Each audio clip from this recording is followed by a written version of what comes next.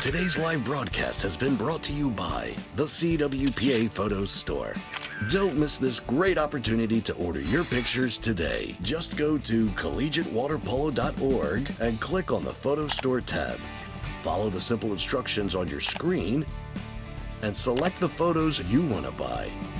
Yes, it's that simple.